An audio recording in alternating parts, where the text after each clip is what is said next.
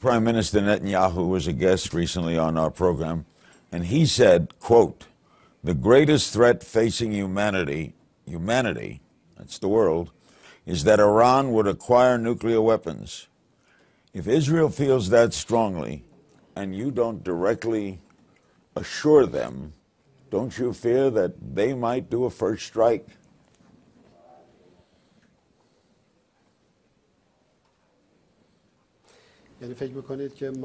So you think that we are concerned, we should be concerned about allaying Mr. Netanyahu's fears and concerns? Yeah. Why should we be doing that for him? Who is he? He's the head of a country. is he in the first place? To begin with, he is a skilled killer. All dictators in the world have condemned others, and he's one of many of them.